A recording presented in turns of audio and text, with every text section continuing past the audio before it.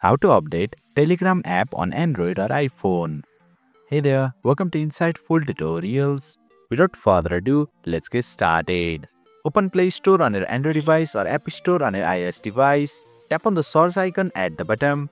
Then tap on the source bar. Type in Telegram and search for it. If the update button is available for Telegram, it means a new version is available with the latest features. However, if you are already using the latest version, then you will see the open button instead.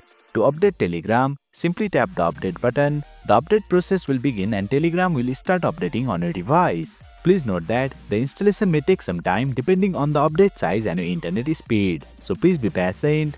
Once the update is complete, you will see the open button.